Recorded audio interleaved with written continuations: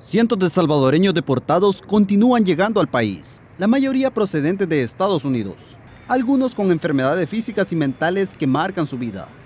Durante tres años, la Clínica Integral de Atención a Retornados ha prestado atención a más de 900 personas con diabetes, sobrepeso, colitis, entre otros.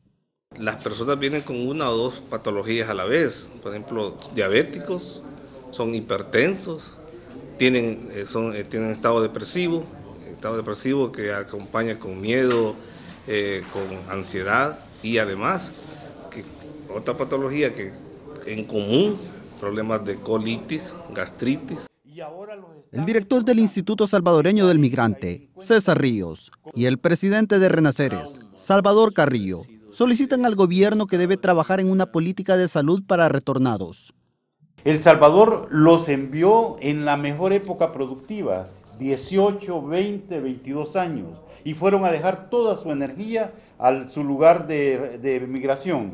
Y ahora los están deportando de 40 y 50 años con unos cuadros médicos muy críticos. Con respecto a los pacientes que vienen con problemas este, eh, psicológicos, es de entender que la mayoría de las personas que regresan tienen que tener cierto eh, trauma por el hecho de haber sido este, deportados de una manera súbita, de una manera sin este, previo aviso.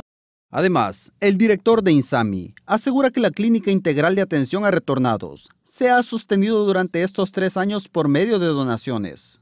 Todavía el tema de salud y migración no está considerado en ningún plan o estrategia de atención a la población retornada. Todavía no. Esperaríamos que con estos niveles de coordinación que estamos teniendo con el actual gobierno, se nos tome en cuenta las demandas de considerar el tema de la salud de la población retornada y que se le destine presupuesto. William Chanta, TCS Noticias.